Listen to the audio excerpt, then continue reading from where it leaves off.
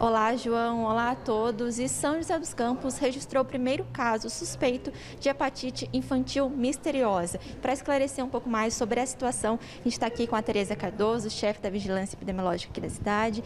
Tereza, de uma forma geral, né, o que é esse caso grave? Como que ele se manifestou? Não, todos os casos que preenchem o critério pela Organização Mundial de Saúde dessa hepatite misteriosa são investigados. Então, esse caso está em investigação, porque ele preencheu o critério. Qual é o critério?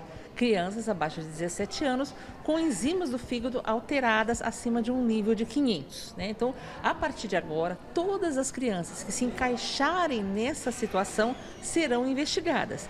É, e, e, a gente tem que lembrar que a hepatite ela é causada por vários, várias uh, etiologias. Né? Então, desde hepatites por vírus, então tem vírus A, B, C, D, E hepatites autoimunes, hepatites por medicamentos, hepatites em uma situação que a criança tem uma infecção bacteriana. Então, só vai ser considerada essa hepatite misteriosa se afastar todas essas causas e não se definir uma etiologia.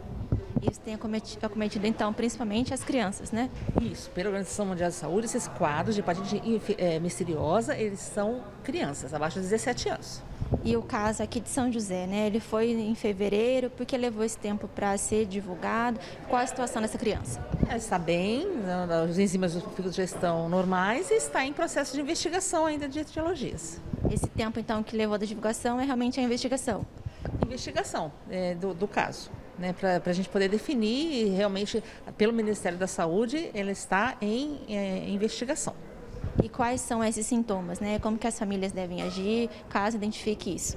Então, a hepatite é uma inflamação do fígado. O que, que a inflamação do fígado causa?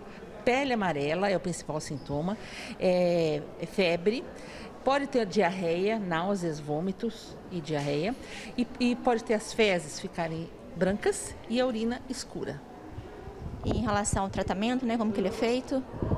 Tratamento é expectante, não existe um tratamento para esse tipo de hepatite. Né? Então, no caso, por exemplo, de uma hepatite medicamentosa, você suspende o medicamento. No caso de uma hepatite por uma infecção bacteriana, você trata a infecção. Para esse tipo de hepatite misteriosa, como acredita-se que a causa esteja relacionada à infecção por adenovírus, então não, não tem tratamento. Somente tratar os sintomas, né? Isso, somente tratar os sintomas. Obrigada, Tereza, pela entrevista. Então, fica esse alerta para as famílias, caso os pais identifiquem esses sintomas, que realmente procure né, a unidade de saúde mais próxima em relação a isso. A gente volta agora nos estúdios.